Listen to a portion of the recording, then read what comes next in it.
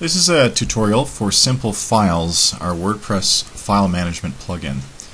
Specifically, we're going to be looking at the document revisions feature we've just added in version 2.0. So first, you want to click on the icon, the gear icon, or the settings, the top right. You have to enable the revisions. They're not enabled by default.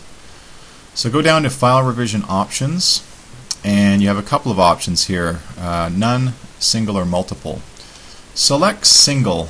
Um, this allows files to be checked in and out by a single user only at a time rather than multiple users where there's uh, no version control.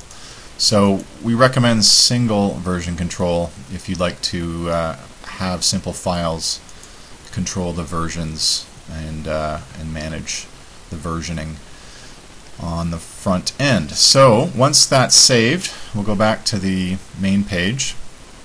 You'll notice you've got a revisions column and the first thing you'll want to do is upload a file and then you can start tracking uh, the versioning of that file. So I'm going to just upload a doc file, uh, Microsoft Office doc file, and then use this as a uh, as an example of the versioning.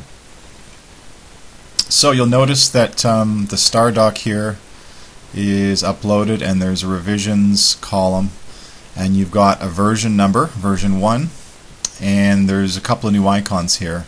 You can check out this document and you can also see the version history for the document.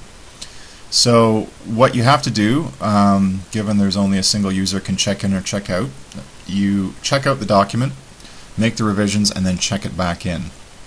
So I'll show you how that works. So first, we'll simply check out the file, which is basically downloading it, and it will be locked until um, you check it back in. So we'll check out the file, which basically just means download it. And it's downloading now. And then you can open the file in a, a typical editor, um, make your revisions, and then once you've done the revisions, uh, you can check it back in. And you'll notice that there's the check-in icon here, check-in star dot doc. You need to use the same file name when you're checking it back in. Um, that's important. So you check in star dot docx and um, then the simple files front end will record a version um, for that revision. So make sure you again rename the file as the original and here you can add a comment um, to show the versioning.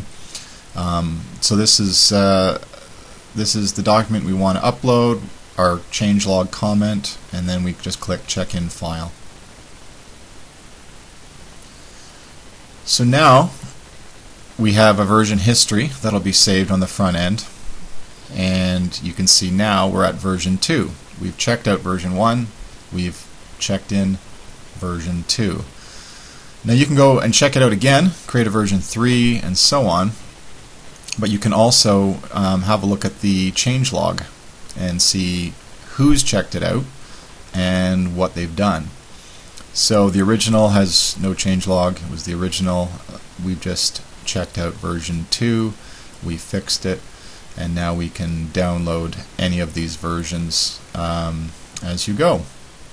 And so that's pretty much it. It's a simplified versioning, document versioning feature that we've just added to Simple Files, and uh, I hope it's uh, hope it's useful.